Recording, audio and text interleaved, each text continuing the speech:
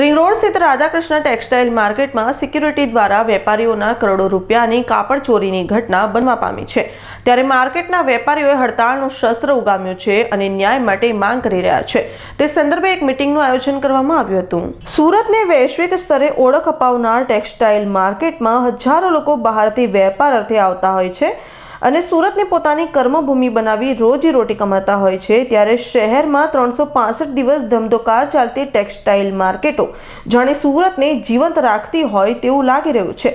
પરંતુ વાત કરવામાં આવે રાધાકૃષ્ણ ટેક્સટાઇલ માર્કેટની, તો આ માર્કેટમાં આશરે બે વર્ષથી સિક્યુરિટી ગાર્ડ અને મેનેજમેન્ટની મિલીભગતના કારણે લાખો કરોડોની ચોરી થતા હોવાનું સામે આવ્યું છે.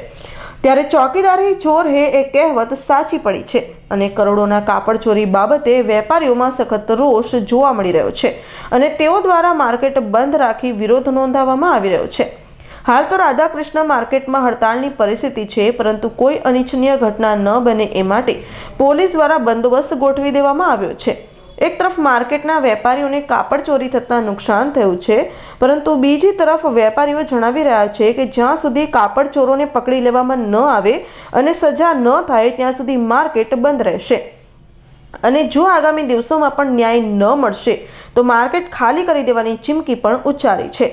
ત્યારે આગામી કાર્યક્રમો માટે વેપારીઓ દ્વારા એક મિટિંગ યોજાઈ હતી ત્યારે વેપારીઓ શું કહી રહ્યા છે સાંભળીએ रामेश्वर राठी अ, जी अब जो आरकेटीएम मार्केट जो बंद है तो उसका मतलब क्या आगामी क्या प्रोग्राम रहेगा हमारा आगामी प्रोग्राम है कि जब तक कि ये चोरी का जो हुई वारदात इसका जब तक पर्दाफाश नहीं हुए ठीक है ना और हम लोग ठगे से महसूस हो रहे हैं मतलब इतनी चोरी होने के बाद में भी और नहीं तो फिर हम लोग मार्केट छोड़ने का प्लान है कि हम लोग ये आरकेटी मार्केट हम लोग छोड़ के दूसरी मार्केट में कहीं शिफ्ट होंगे। इतने टाइम से चोरी की जो घटना है वो हो रही है तो अब तक मतलब किसी को मालूम ही नहीं पड़ा था। संडे को चोरी होती थी और हर कलर में से जैसे हम लोग साठ कलर बनाते हैं हर कलर में से एक एक ताका उठाता तो हमको मालूम नहीं पड़ा था कि चोरी हो रही है हमारे घर में। कितने दिन तक मार्केट बंद रहेगी? मार्केट अभी तो अनिश्चित काल के लिए बंद है।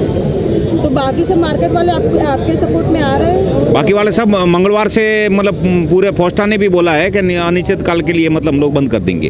तो अभी आपकी क्या क्या मांग है? हमारी मांग यही है कि मतलब जो जो सिक्योरिटी है वो चेंज करो और मेंटेनेंस में जो हमारा ये घोटाला हुआ है उनको सबको पकड़ो मतलब और हमारा जो हुआ है माल वो उसको मुद्दा माल सहित बरामद कराओ और हमारे को मुआवजा दिलाओ। गोपाल चंडक।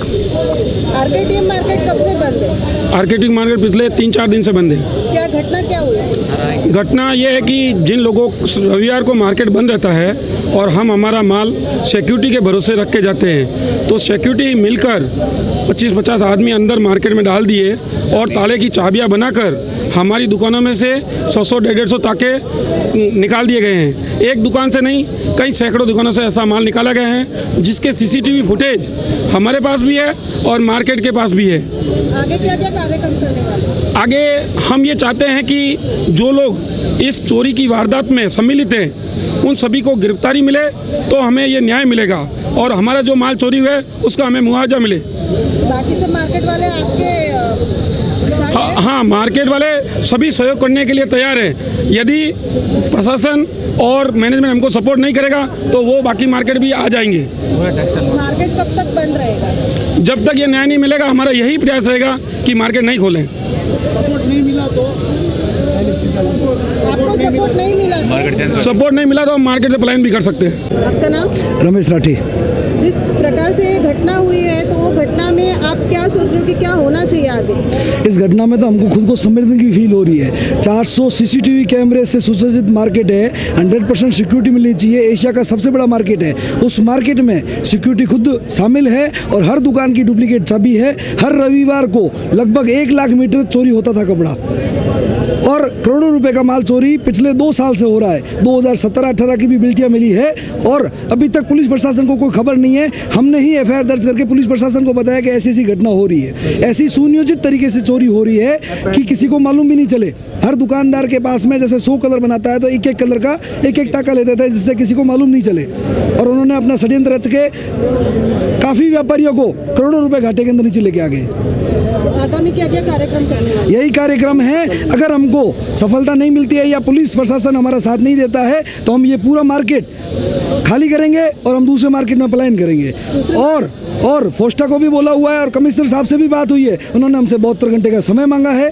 बहत्तर घंटे में मतलब सोमवार तक अगर हमारे को कुछ रिज़ल्ट नहीं मिलता है तो मंगलवार से फोस्टा से निवेदन रहेगा और हमारा राधा कृष्णा टेक्सटाइल मार्केट निश्चित रूप से पूरा बंद रहेगा।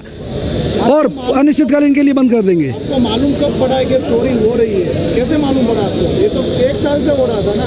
तो फाइनली कब हमारे मित्र है उषा फ़ैशन आशीष राठी उन्होंने एफ़ दर्ज कराई। एफ़ दर्ज करने से पहले वो 100 परसेंट उन्होंने सिक्योरिटी कैमरा चेक किया कि बाकायदा मेरा माल चोरी हो रहा है। उन्होंने फरियाद दाखिल की। फरियाद दाखिल के बाद में एक गोडाउन सील हुआ नारायण नगर में जहाँ पे लगभग पंद्रह हज़ार मीटर कपड़ा बरामद हुआ। उसके साथ में सभी व्यापारी गए देखने के लिए।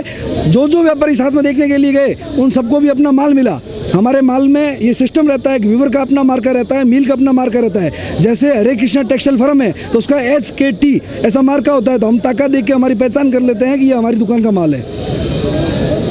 कितने लोग हैं? कम से कम सौ व्यापारी पीड़ित है जिनको तो छः तारीख की चोरी की बरामदगी का माल मिला है। छः तारीख को जो चोरी हुई है उनका माल मिला है। उससे पहले का जो माल है वो बिक चुका है। उस उसका पैसा वो यूज़ कर चुके हैं। अभी तक कोई चोर पकड़ा गया अभी तक सिक्योरिटी जो शामिल थी एक राम राम भाई करके है और खान भाई करके हैं उनको सबको उन्होंने पूछताछ के लिए उन्होंने लिया है। लेकिन अभी तक जो बाहर जो मेन व्यापारी है इतना बड़ा स्कैंडल है तो हंड्रेड एंड वन परसेंट बड़े व्यापारी साथ में शामिल है।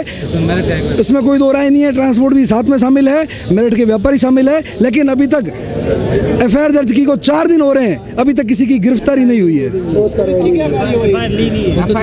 पुलिस वालों ने बोला है कि आप अपनी अपनी फरियाद लिखा दो, हम उसके ऊपर कार्रवाई करेंगे, चार दिन हुआ, अभी तक कोई विशेष कार्रवाई नहीं हुई है। पोस्टा वालों का सपोर्ट कैसा फोस्टा वाले दो दिन से हमारे साथ में थे। कल कमिश्नर साहब से मिलने के बाद में उन्होंने बहत्तर घंटे के आश्वासन को माना है। चलो, बहत्तर घंटा अपने को भी इंतज़ार करना चाहिए। उन्होंने कमिश्नर साहब ने बोला है कि मेरठ हमारी एक टीम जा रही है और हम लोग यहाँ पर जो जो गोडाउन सील हुए हैं उनसे भी पता लगाने की कोशिश करेंगे कि इसमें कौन कौन शामिल है बहत्तर घंटे रुकने के बाद में मंगलवार से जब बाजार खुलेगा अगर तब तक हमारे को कोई रिजल्ट नहीं मिलता है तो बहत्तर घंटे बाद में फोस्टा भी पूरे संपूर्ण मार्केट बंद करने के साथ में है વેપારીઓનો રોષ હવે ચરમસીમાએ પહોંચ્યો છે ત્યારે વેપારીઓએ પણ બાઈ ચડાવી છે અને લડી લેવાના મૂડમાં છે અને ફોસ્ટા અને બીજા માર્કેટોના વેપારીઓ પણ તેમની સાથે છે તેવું જણાવ્યું હતું પરંતુ હવે જોવું એ રહ્યું કે આ હડતાળનું શસ્ત્ર ખરેખર વેપારીઓને ન્યાય અપાવશે કે કેમ હાલમાં રાધાકૃષ્ણ ટેક્સટાઇલ માર્કેટના વેપારીઓ દ્વારા મિટિંગ યોજવામાં આવી હતી અને તેઓ દ્વારા જણાવવામાં આવ્યું છે કે જો હવે કોઈ નક્કર પગલાં ન લેવામાં આવે અને જો એ લોકોને ન્યાય ન મળે, તો તેઓ સંપૂર્ણ લડતના મૂડમાં છે અને કાયમી માટે માર્કેટ છોડવાની પણ તેઓ ચીમકી ઉચ્ચારી રહ્યા છે. ત્યારે હવે જોવું એ રહ્યું કે તેઓને ન્યાય મળશે કે કેમ? કેમેરામેન જિગ્નેશ પંડ્યા સાથે Snehal Barot, S nine news Surat.